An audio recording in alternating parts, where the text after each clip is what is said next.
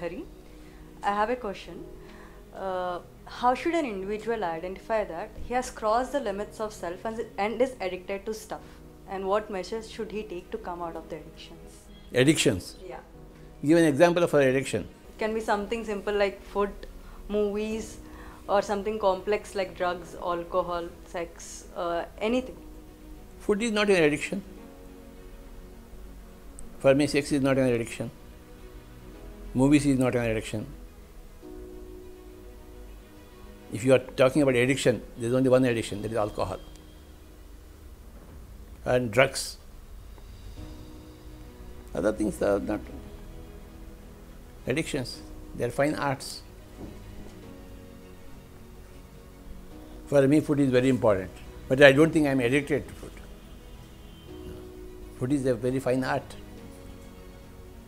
It's art and science.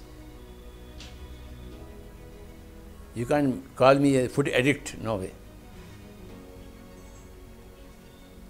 Alcohol addiction is there, drug addiction is there. And what about seeing a lot of televisions or social media? That is not at all addiction. People have called it wrong, but I don't call it wrong. I daily see a TV, hours and hours. But I don't call myself addicted to TV. I learn from TV, from every channel. It's great entertainment for me, great enjoyment for me, great enlightenment for me. My TV is my entertainment, my TV is my enjoyment, my TV is my enlightenment. When anybody speaks in the TV, I watch like that. How he is speaking. I have other question that how should family members and friends deal with people who are addicted to like alcohol and drugs? There are organizations, Alcoholics Anonymous, they treat alcoholics. There are great organizations are there. The best way to treat any alcoholic or drug addiction is meditation. You teach a meditation, you will come out of alcoholism or any other addiction. Uh, People who are, who are dealing with addictions find it very hard to meditate, right? So, is there any other suggestion?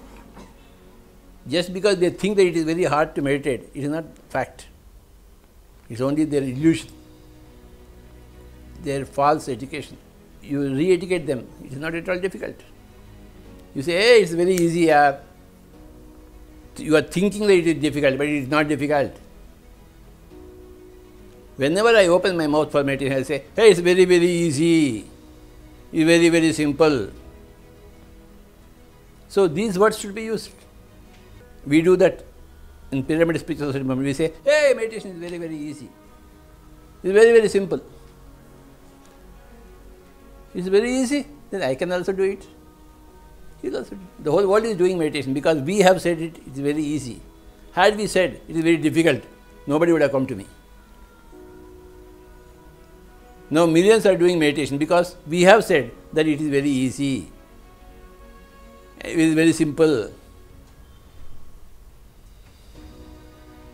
It's not very easy, but we say it is very easy. We have to use such words to re educate people. Break the patterns. Break the pattern, yes. Thank you, sir.